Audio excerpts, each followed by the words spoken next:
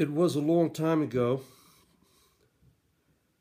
and though I think about it every now and then, I'm sure I've forgotten some of the details, and I'm sure I've, I've changed some of them.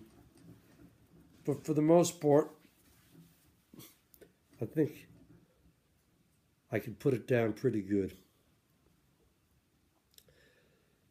Must have been about 1977 or 78.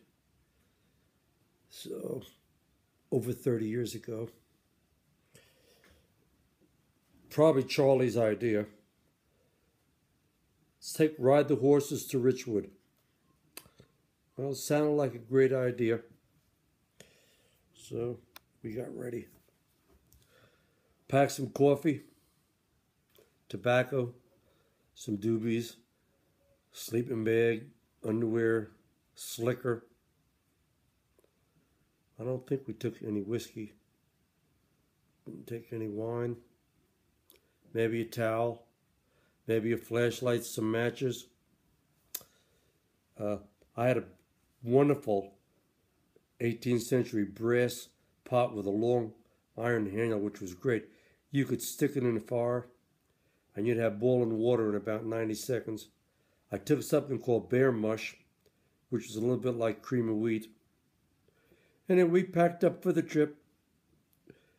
Uh, I guess I was riding Billy Joe, quarter horse, McClellan saddle, saddle, and Charlie was riding Billy Casper, a little bit bigger horse, and I guess he was riding a Western. And I guess we set off pretty early, uh, up over past Dick and Susan, down the Bog Run up past the McMillian place up to the KC Highway and took that down to Cold Knob. Must have been the summertime. I can't really remember, and I can't really remember too much about that part of the ride, except that anytime you're riding the horse up in the mountains, it's really wonderful. And of course, we were going pretty slow and didn't really have any maps Never took the ride before, but we knew if we just got to the North Fork of the Cherry, we'd get our ways to Richwood. Well, eventually we got to Cold Knob, came on some place called Lost Flats. We found some couple of strange people living in some trailers, and I can't remember too much anymore, except they didn't seem like country people. They sort of seemed like something out of uh, the Twilight Zone. I guess we stopped, we had a cup of coffee and worked our way across the knob and worked our way down till we hit the cherry. And of course, I got interested in riding the horses downhill and you sort of zig and zag and zig and zag. And sometimes the riding was pretty good and other times it was pretty rough. But eventually we got down to the river. Couldn't ride pretty much in the ride in the river a little bit, but there'd be trails along the river you could ride, and we'd be riding along a, a trail and seemed like it was really good. The next thing you know, it'd be like a dead end in trees. It's an old logging trail that stopped. So we hit our miss, hits and misses, and eventually we made it into Richwood. The next thing you know, you know, we're in the woods. The next thing you know, you're in town, and we come on a house and asked if we could tie the horses up in the yard, and the woman was very nice about it. So we tied the horses down, took the saddles off, and didn't take long to walk into town and went into the beer joint pool room hamburger, place. Now here we were. I guess we had on boots and jeans and plaid shirts, and I guess we looked like everybody else. But those people in Richwood, they could tell right away that we weren't from there. But you know, we got a couple of remarks and some looks, but we never really had much trouble. So we had something to eat, went into the state store, got a pint of whiskey, and there was an SDS, or Soil Conservation Service, or some state agency there.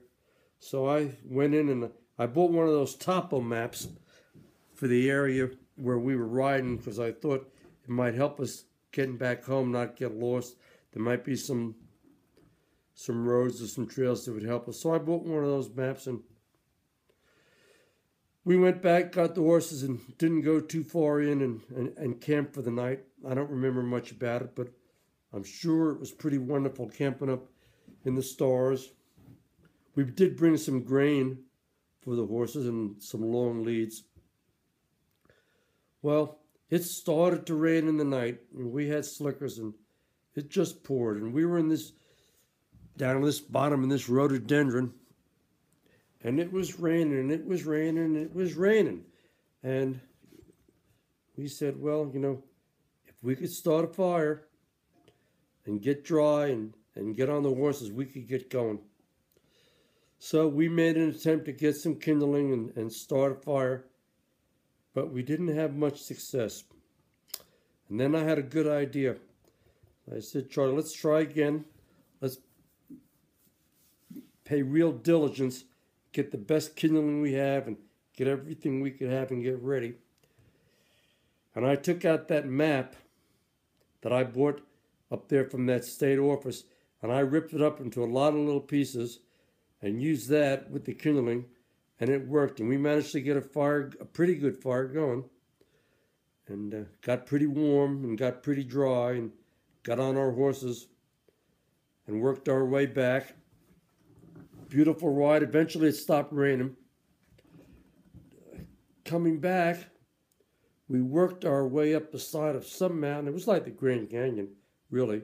These uh, trails, let's see, one, two, three, oh, maybe they were four foot wide, switch back, switch back, switch back. All of a sudden, we came out on a lunar landscape. We were one, one of these big strip mines that they said was in Pocahontas County. I'm pretty sure it was in Greenbrier, but it was hard to tell. You know, with these big vehicles, with these tires, 10, 12 foot high. And anyway, we got there and eventually we came out on the Briar Knob Road worked our way down, finally came up there on Lobelia, worked our way back and, and got back to Jacox. And it was a wonderful ride. You know, we cooked bear mush and we made coffee, we fired up some doobies. We didn't see too many deer or bear.